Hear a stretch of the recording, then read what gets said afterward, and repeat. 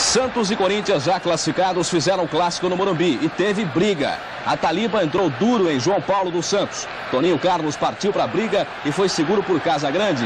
Depois, o juiz Almir Laguna expulsou a Taliba, que inconformado partiu para cima de João Paulo. Outro também acabou expulso. Técnicos e reservas entraram em campo. A Taliba, completamente descontrolado, teve que ser retirado de campo por seus companheiros. O jogo ficou paralisado mais de 10 minutos. A confusão começou aos 25 minutos do primeiro tempo. E quando a bola voltou a rolar, a decepção. Não teve gol, não. O jogo terminou 0 a 0.